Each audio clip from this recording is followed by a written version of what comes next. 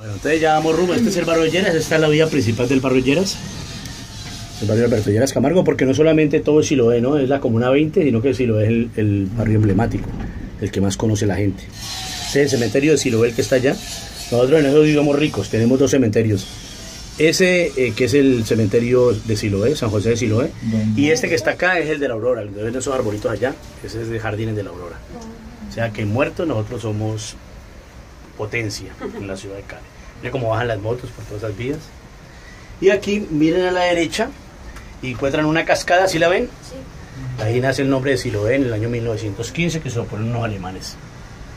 Ahí arriba está Cristo Rey, ¿Sí? esa cascada. Y acá está la casa donde nació la medallista olímpica, en Rentería, dos veces medallista olímpica. Y ya vamos llegando a la estación de Brisas de Mayo y aquí ya no salimos y se les acaba la tortura a los que tienen un poquito de miedo. Pero esto no pasa absolutamente nada, es normal.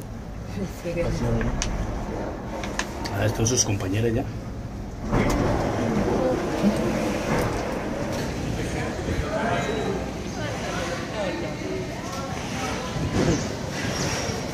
¿Cuántos meses de parado tienes?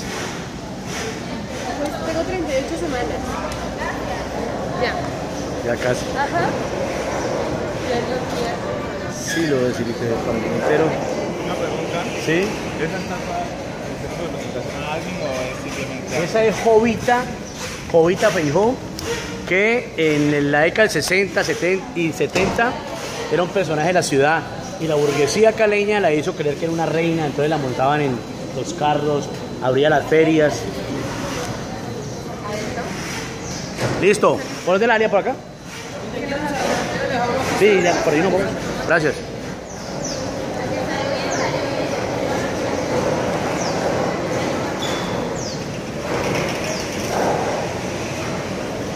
Bueno, vámonos a caminar.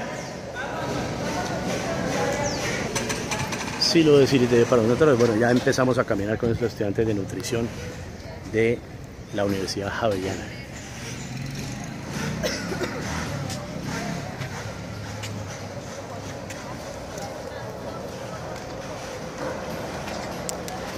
Nótese esa casa que ustedes ven allá, es muy poquita, así eran las casas en Siloé, la mayoría, en tablas, en esterilla, en bareque, en plástico, en cartones, como esa, pero ya casi no hay, mire que ustedes ven puras casas en, en concreto.